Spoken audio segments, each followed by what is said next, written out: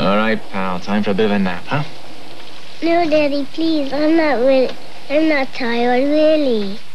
Me neither. If you want to be honest about it.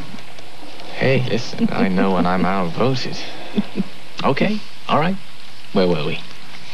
The, the queen and the king and the prince. Ah, yes. All right. So, meanwhile, back at the palace, darkness and gloom had fallen upon the royal family. Prince Andrew himself had been unable to smile for days. Stand-up jesters from far and wide had been summoned to prat their very best fall.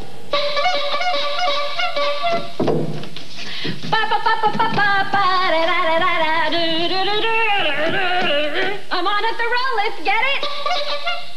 Okay, two drummer boys going to a bar. Ba-dum, ba-dum, bum. Boy, you're a rough crowd.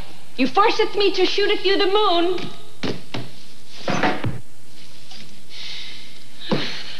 We're sorry. Uh, you are very funny. Oh, oh, yes, you are. The only way we'll ever smile again is if Princess Eve is brought safely home. What? No knock-knock jokes? No funny hats? Let's do what they do on the castle down the block. We'll throw the peasants in the moat and watch them drown. Afraid it won't work. Hmm. Well, this kingdom cannot survive without laughter. I will save the Princess Eve. What do you think of that? You? You're going to rescue the princess. I'm serious.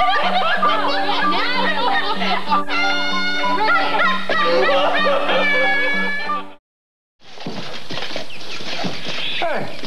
Hey, wait a minute! Wait a minute! Where's my faithful and true sidekick, Sir Abraham? Wake up, Pop Top. He's not in this episode. Oh!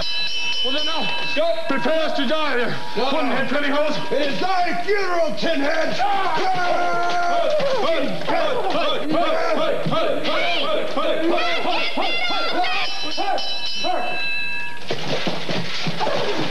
Who's going there? Surely, surely thou remembers me. I am Calliope the court jester. I performed at the night of the Round Table Bar and Grill just a fortnight ago. I, I remember. She the one who layeth the royal egg. Wait a minute, I had some good ones that night. What about the merchant and the farmer uh, daughter? No, no, no, no. We have no time for this jest. Uh. we must get on with it. I want to turn this can of worms into a hunk of scrap. Head on, tis I who send you to an early death nap, yeah? Yeah! Stop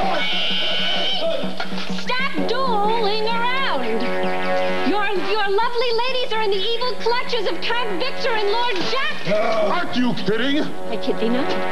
Well, then, let us boogie! Clear the way. Okay, walk this way.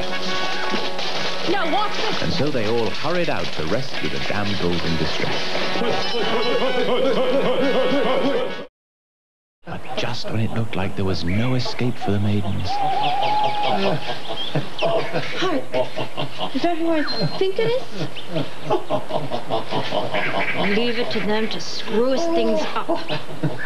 You think our services will come in again? Oh, Victor. I just love the way thou twirls thy mustache. And the way thy lip curls and shivers up and down my spine. Uh, perhaps we could share um, a spare uh, thy ladies after all. And keep the spoils of war to ourselves. and just as Lady Di and Maid Kayla were about to kiss the villains, Sir Roman and Stephen Hood came bursting forth from the bushes, assailing their foes from behind. What ho! What ho! Our heroes fought bravely, displaying their daring do for their ladies. Speaking of the women, what are they doing while all this is going on? And don't tell me they're just standing around helplessly shrieking in fear. She's right. Come on, fair ladies, let us be Butch.